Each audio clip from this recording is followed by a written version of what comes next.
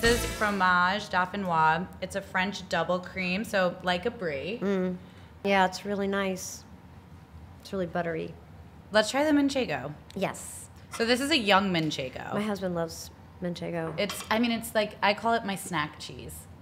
That's Um, beautiful. That's beautiful. Okay, so this next cheese is very uh, interesting. It's Vermont Creamery Spritz. They're standard goat log, but it has honey and strawberries in it. Sweet. Yeah, but That's it's really nice. The, it's so nice, and you get that little bite in the back. It's like sophisticated candy. This is the wild card. This is Taleggio. Okay. Oh, Taleggio. you It's love great. Taleggio? Yes. It's great. You, Sarah Jessica, you know so much about cheese. I love Taleggio. Um, it's it's pudgy. It's fudgy. It's, but Mm-hmm. Oh, it kind of has That like is that. a really good Taleggio. right. The last one is a Gouda. Okay. I'm This is so a excited. Murray's Estate Gouda. Oh my god. Right. It's like butterscotch. But you get all those crystals in it. It's behaving like a Parmesan. You picked beautiful cheeses. Cheers. Cheers. Thanks for, Thank and we'll you see for you in having Murray's us. in the neighborhood. Definitely.